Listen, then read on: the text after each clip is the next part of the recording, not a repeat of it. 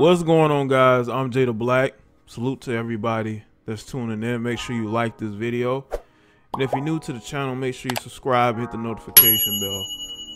I want to talk about Derrius Guice. Um, his career pretty much seems like it's over, especially in the NFL, because no team is going to take a chance on him right now. And if they do, I would be really surprised, if not shocked. Not only for the fact that he was accused of assaulting women at LSU, there's also a new report, a very damaging report by Ross Dellenger. Now, on his Twitter page, he posted uh, this message. It was actually a statement uh, from a 70 year old woman who went over the fact that she was harassed by Derrius Guice, I believe, at a high school football game.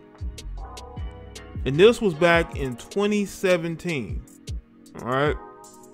This was right before he went to the NFL because he had some issues that kept him from being drafted higher. Teams did not want to take a chance on him because there may have been some character flaws, right? Now, according to this report, it says at 3:30 p.m., she was sitting on a chair at her post when Derrius Guice and several other men approached her. He began saying that he likes older women and asked if she would have relations with him. She was shocked and told him that was not funny. He continued to gest gesture at his private area and grab himself in front of her, saying that older women are my thing and that they can just go off and do it somewhere. She told him that she is a grandmother and 70 years old and that he shouldn't talk to people that way. The other men began to laugh. She tried to tell him how uh, disgusting it was that he would treat her that way, but he kept talking about having relations as he got in an elevator and left. She reported to her supervisor that people called the coach at LSU. He said that Derrius was probably just kidding around and that Derrius came from a broken home. She said that she did not care and that he should be punished for his behavior. All right. Now, again, she's calling this coach out of the blue, right? And she's asking this coach to punish somebody when she doesn't have evidence or proof. It's, it's basically her getting upset at what Derrius Guice did. I'm not saying it's right, and I'm to get to it. But you can't just call this coach and tell him, oh, this player said this to me, you should punish him. That's not how it goes. You, you can't just do that. And maybe she thought that they would accept her word because, again, I, I don't know. I, I'm not going to speculate, but I'm going to assume this was an older Caucasian woman, okay, who may have been taken aback by this black athlete trying to hook up with her. And maybe that's not something she was used to. Maybe she's not used to, to, to guys being that aggressive towards her. So again, I can't blame the coach at that moment. You can't just call him and just say, hey, punish him. Like, that's just not how it works. You need evidence, you need proof that something was done in that moment for them to actually happen. Derrius never touched her. Derrius never put a hand on her. So you can't just say that they should punish him. Like, anyway. Uh, she said that she felt like he had he did it with such ease that she felt he had done this before. The coach asked what she wanted, an apology. She told him that she wanted Derrius to sit out from a game, the bowl game. He dismissed her and no one has returned her call or done anything. I mean, again, I understand that she listen. Listen, there are guys out here and again, I'm not making excuses for anything that Derrius Guice has done or is it. I'm just want y'all to understand. There are guys who will approach an older woman like they approach younger women. Okay? And there are older women who are accepting of being approached in an aggressive manner. She just wasn't. Okay?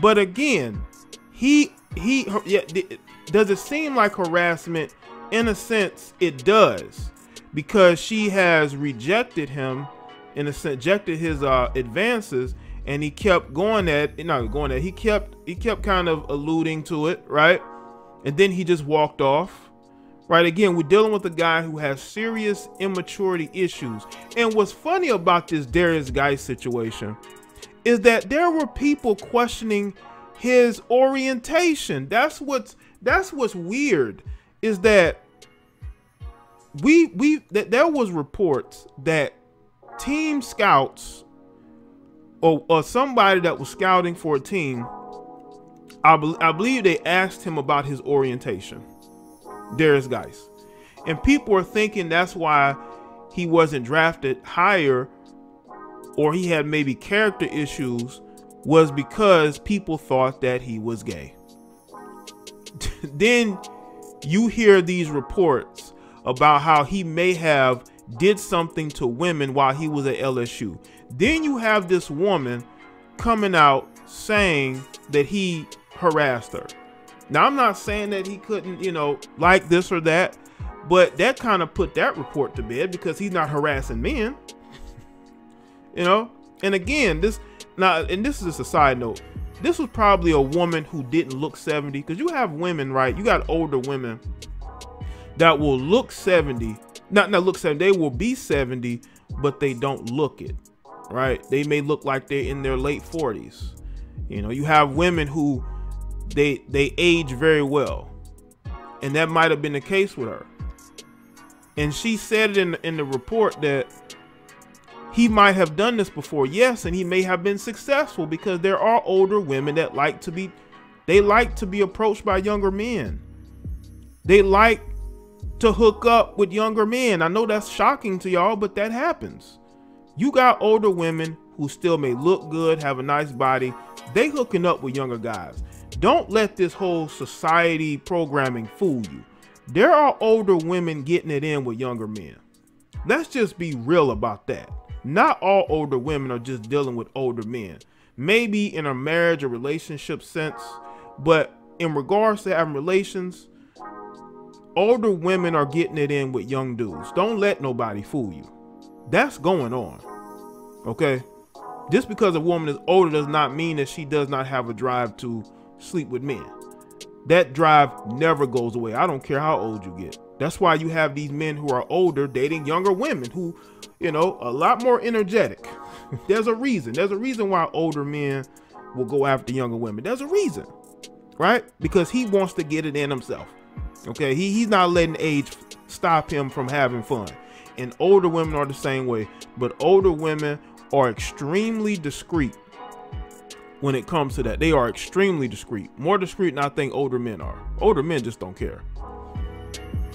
Now, Derrius Guice, he got kicked off of the Washington football team due to the amounting incidents of domestic situations that he had. And that's what got him released. That's what got him released. Okay. And then he was accused of assaulting women at LSU. Listen, I'm not saying that what Derrius Guice did was right. The woman did not take heat that did not like your advance towards her. I think he should have got the message. But again we're dealing with a guy who was in his early 20s immature right? And he did not understand that. You know he thinks because he's a football player at lsu that women would want him and that's just not the case not every woman is going to want you if a woman rejects you, move on. And it seemed like at that moment he didn't get the hint that you know she wasn't really trying to hook up with him, and he got in his feelings a bit and and took it a, a step further and a step further. Then he eventually walked away. But now you have this woman who clearly uh, was not interested, right? But the fact that again, she expected the team to bench him because of what she said. When they didn't see it, when there's no uh, people, other people come forward and say, "Hey, look at how this guy harassed her." Like you put the team in a very bad spot, right? You put the team in a very bad spot. Now, Derrius to me seemed like a guy who doesn't get it. You know, Derrius was in a photo, right? On a boat with a bunch of Caucasian women, right? And that photo kind of went viral a bit. And there were people saying, "Oh, look how cool it is. He's with all these women." This was, his, I believe, his first year in the NFL. But you can tell his mentality, man.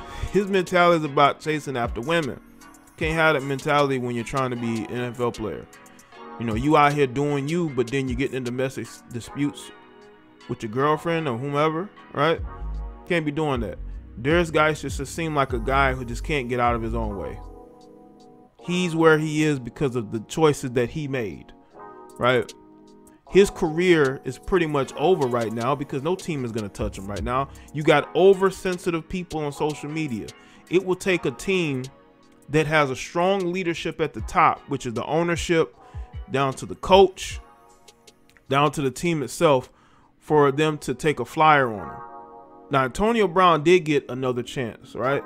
But Antonio Brown's incidences, they they consider bad, but they're not as bad as what Derrius Guice is being accused of. Not only did he get there were reports of him in domestic disputes, you have two women who claim he did things to them when he was at LSU. Then you got this 70 year old woman claiming she was harassed by him, right?